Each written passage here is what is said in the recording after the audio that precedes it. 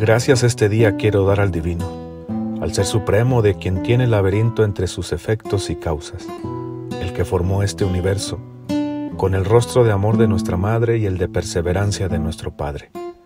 Dar gracias porque en ellos hemos podido caminar entre el laberinto de la vida, con pasos firmes como el diamante y de sentimientos puros como el agua.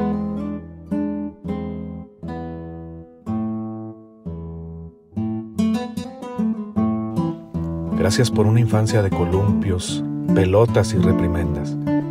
Gracias por los veranos sin fin contemplando estrellas, buscando comer los atardeceres. Gracias porque hoy las estrellas están de fiesta por su compañía y esos atardeceres me recuerdan la calidez de sus abrazos. Porque una sola vez es vida, apurándola en silencio sin abandono, con calma y abrazando la penumbra sin huir de la tristeza.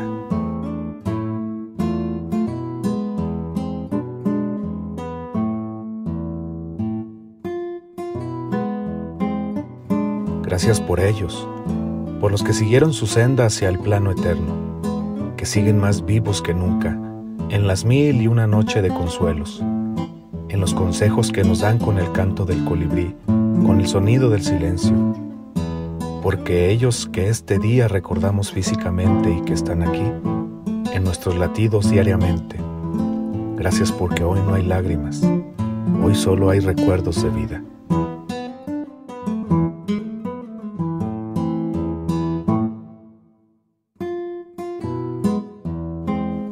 Gracias por nuestros más grandes maestros, nuestros maestros de vida, los que nos enseñaron que la comida del Espíritu alcanza para todos, que las oraciones son esa charla con Dios para pedir por los nuestros, y que en este día libre de sus ocupaciones en el paraíso, vuelven a nosotros con el mensaje más simple de todo el vasto cielo.